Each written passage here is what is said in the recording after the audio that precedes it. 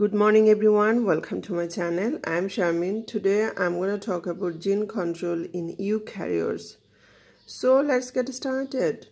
In general, the number of different proteins that act as transcription factors increases with increasing size of the genome. So this means that uh, eukaryotes have many more way of regulating gene expression than have prokaryotes. In human, for example, about 10% of genes code for protein which act as transcription factors. The factor may bind to the promoter region of a gene.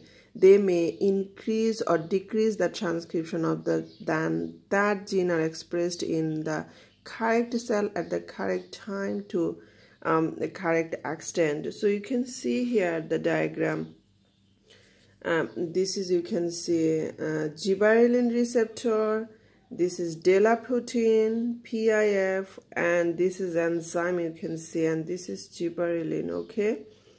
So PIF cannot bind to a gene promoter while it is uh, it is bound to a DELLA protein okay? And uh, here another thing and here you can see this is gibberellin here. This is gibberellin receptor green color okay?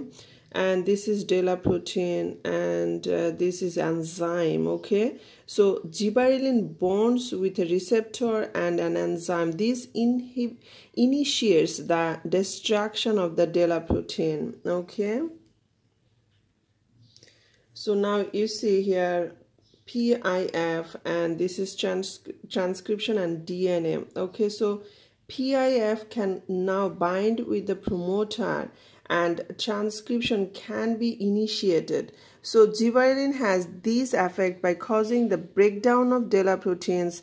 A DELLA protein in, uh, inhibits the binding of a transcription factor such as phytochrome in interacting protein that is PIF okay phytochrome interacting protein PIF you must remember that to a gene promoter. By causing the breakdown of DELLA protein gibberellin allows PIF to bind to its uh, target promoter and transcription of the gene can then take place resulting in an increase in amylase production. So guys i hope that's all. Thank you for watching